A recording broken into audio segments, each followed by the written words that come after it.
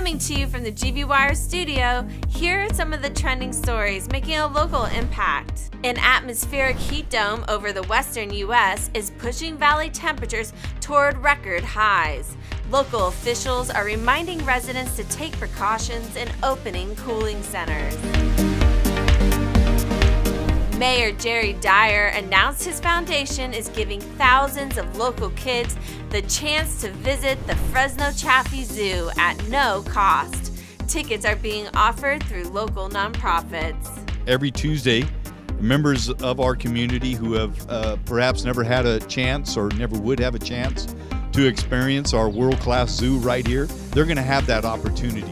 Fresno Chaffee Zoo is working with One Fresno Foundation, the Mayor's Office, and community partners to distribute over 9,000 free tickets. And a local burger spot is offering a tasty way to cool down. They're giving away free milkshakes on Monday to help celebrate their new location. Our milkshakes are very good.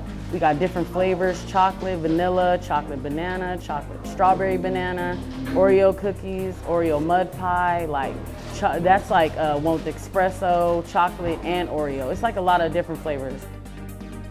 Join the conversation on those stories and more now on GV Wire.